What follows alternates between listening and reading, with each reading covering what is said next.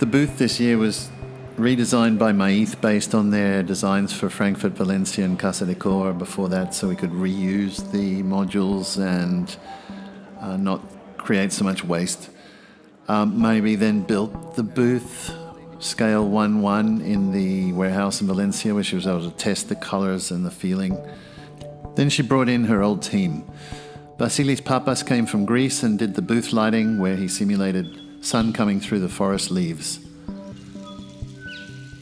The first thing you see when you walk into the booth is Bodo Sperlein's Oscar collection, like hanging over the main work area, the table lights.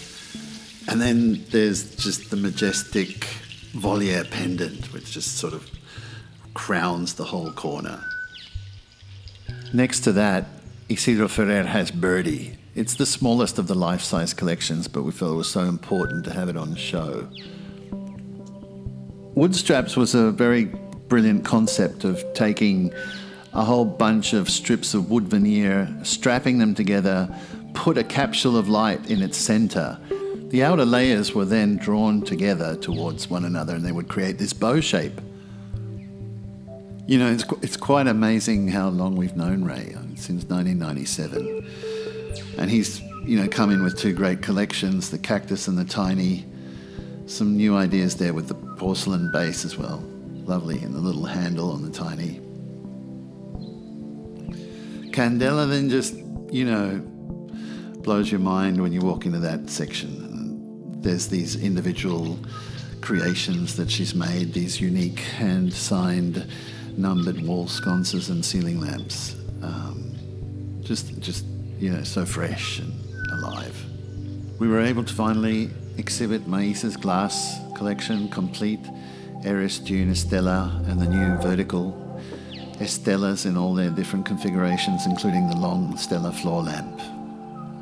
Ramon came back this year with a new addition to his Black Note family, the Black Note chandelier. We saw this exhibition on recycled materials that Lucas Munoz had curated, and he'd made all the lighting out of bricks and rods and drivers and and Mariví was like, we've got to get in touch with this guy. And so we did, and he came up with this collection ASAP, as simple as possible. Believe me, Ellie is really happy now that she's finally been able to present her collection. Due to pandemic, it's been put off and put off and put off, and this is the first time the OMA has been presented in Milan. There was an excitement in the booth this year, which I hadn't experienced for many, many years, which was really cool.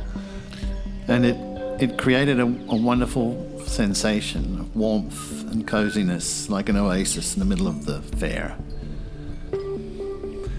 After the show, you could head down to Illuminata, which was the exhibition by Bodo Sperlein and Francesca Vallini in Brera district. Uh, Bodo had several of our pieces there that he's designed for us on display. It was a lovely place to end the day of the fair. Thank you for watching. Good night.